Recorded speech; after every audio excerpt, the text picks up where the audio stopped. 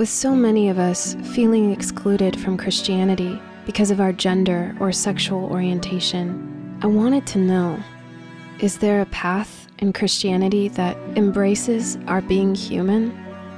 A way of becoming more of who we really are?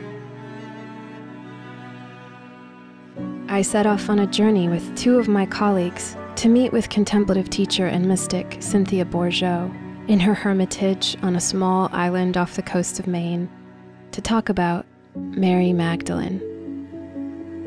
Who was she, really? Could she possibly be a key to unlocking a mystery at the heart of the Gospels? Could Mary Magdalene finally reveal a path of love and courage? A way for us to be more at home in ourselves? A way of becoming more fully human?